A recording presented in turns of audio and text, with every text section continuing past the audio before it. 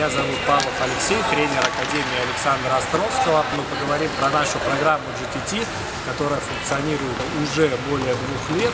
В данном случае это состав наших девочек.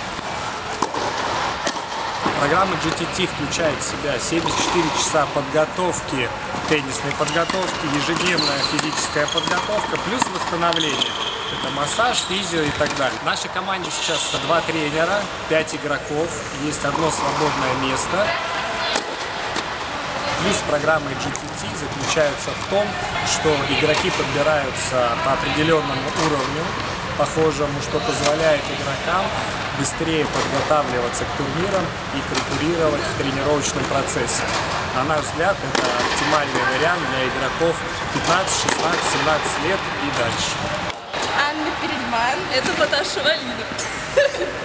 Мы занимаемся в программе GTT два, два года. Нам, Нам очень нравятся игровые тренировки и в целом тренировочный процесс.